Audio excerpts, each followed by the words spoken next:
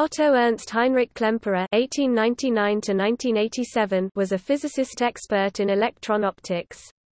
He was granted his doctorate by the Humboldt-Universität zu Berlin in 1923. His thesis advisor was Hans Geiger.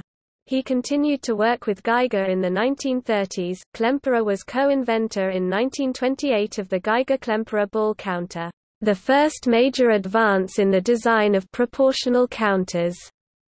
During the 1930s, he worked at the Cavendish Laboratory at the University of Cambridge on discrepancies between Fermi's theory of beta decay and the observed radiation properties of rubidium and polonium. He was later an assistant professor and reader in physics at Imperial College, London, where he wrote the third edition of his book on electron optics with Mike Barnett. The conductor Otto Klemperer was his father's cousin. His uncle was the Romanist Victor Klemperer. Topic: Bibliography. Klemperer, Otto, Barnett, M.E. 1971. Electron Optics. Cambridge Monographs on Physics 3 ed. Cambridge University Press.